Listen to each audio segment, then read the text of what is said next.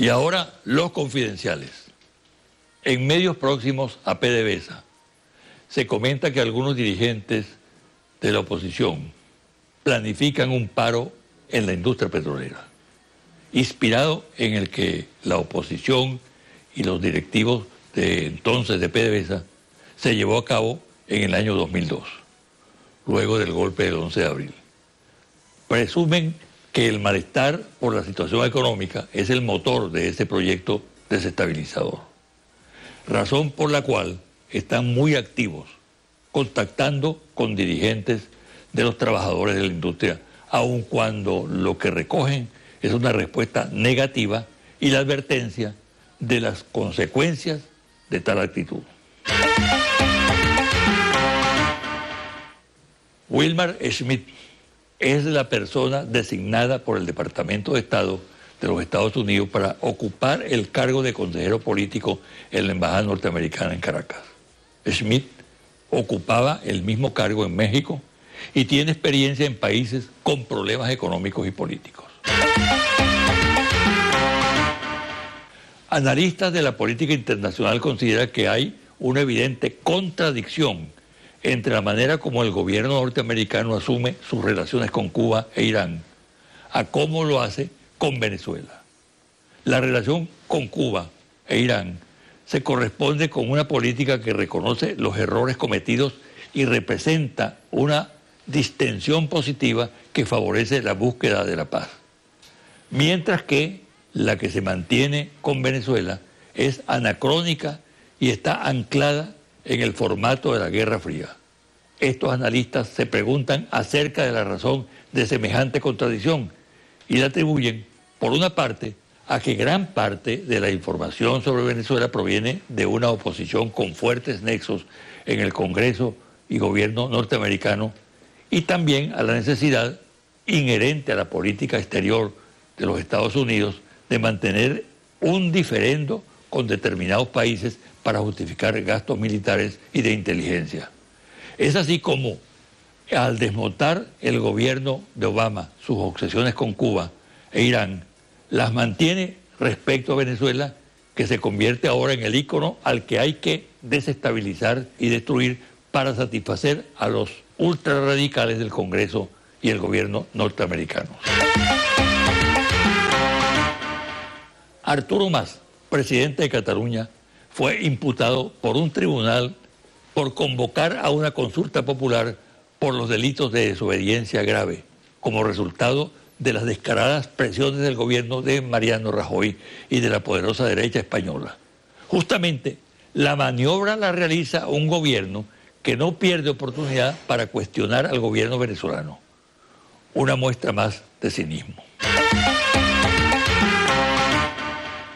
En las semanas que faltan para el 6 de diciembre, fecha de los comicios parlamentarios, se va a intensificar la campaña destinada a descalificar esos comicios, al Consejo Nacional Electoral, al gobierno de Nicolás Maduro y al gran polo patriótico.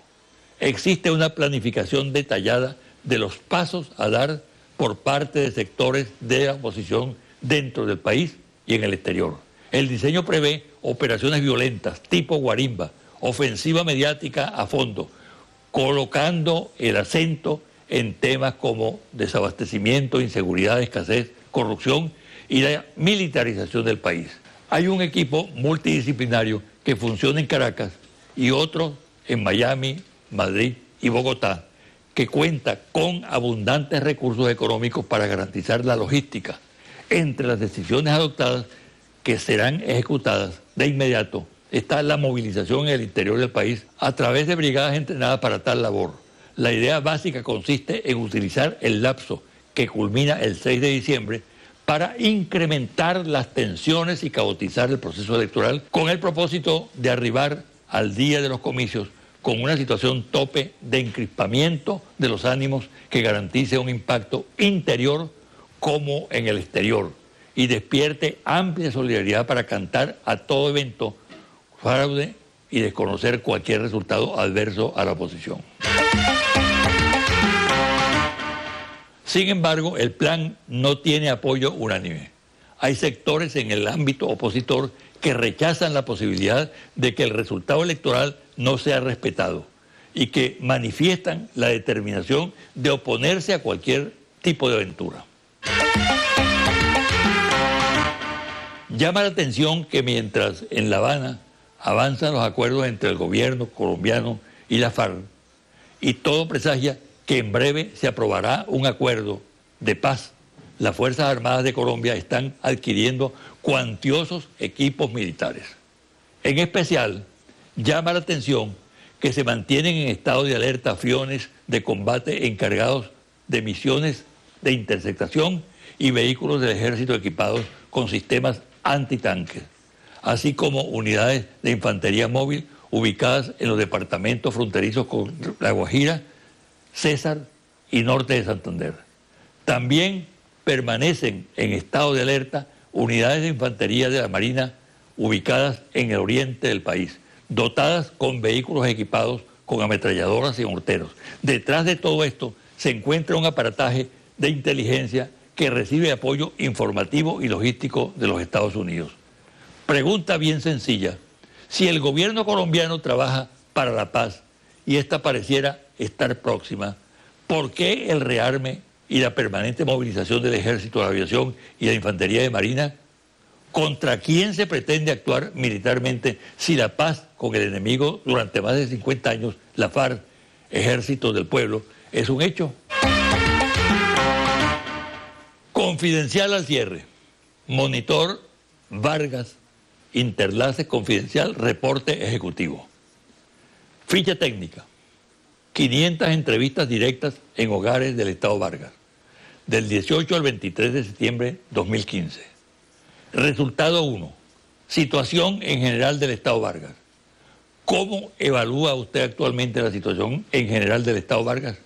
¿Usted diría que es excelente, buena, regular a buena, regular a mala, mala o muy mala? Excelente, 3%. Buena, 13%. Regular a buena, 44%. Regular a mala, 17%. Mala, muy mala, 22%. No sabe, no contesta, 1%. ¿Cómo evalúa usted actualmente la gestión del gobernador del Estado Vargas, Jorge Luis García Carneiro? ¿Usted diría que es excelente, buena, regular a buena, regular a mala, mala o muy mala. Excelente, 6%. Buena, 29%. Regular a buena, 36%. Regular a mala, 16%. Mala, muy mala, 12%. No sabe, no contesta, 1%. Resultado 2. Disposición a votar e intención de voto. ¿Cuán dispuesto está usted para ir a votar en las próximas elecciones parlamentarias? Total, Vargas definitivamente va a votar 69%, probablemente va a votar 13%, definitivamente no votará 7%, probablemente no votará 10%, no sabe, no responde 1%. Si el próximo domingo se realizaran las elecciones a la Asamblea Nacional, ¿por quién votaría usted? ¿Por los candidatos del chavismo? ¿Por los candidatos de la oposición? o por candidatos independientes. Por el chavismo, 41%. Por la oposición, 24%. Por independientes, 8%. Por ninguno, 18%. No sabe, no responde, 9%. Independientemente de por quién vaya usted a votar, en su criterio, ¿qué tendencia política cree usted que ganará la mayoría de los diputados en las próximas elecciones de la Asamblea Nacional? El chavismo, 52%. La oposición, 25%. Los independientes, 7%. No sabe, no responde, 16%. Hasta aquí el programa de hoy. Me despido hasta el próximo domingo a las 9 de la mañana por este su canal Televen.